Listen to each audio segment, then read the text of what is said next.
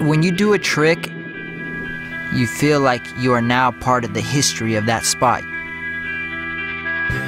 You are now part of that spot's legacy, and you help that legacy grow by one more trick, you know?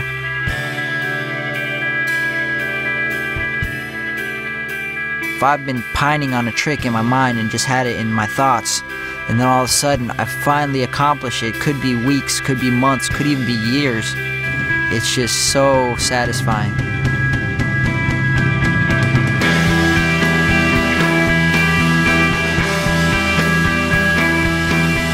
Skateboarding, to me, what makes it so unique is because you never beat the game, you never win, it never ends. There's never, okay, that's it, I've learned everything there is to learn.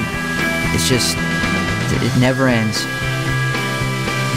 You can never conquer skateboarding, it constantly keeps you hungry. You got this voice inside of you that thinks that you can still get to that end all be all.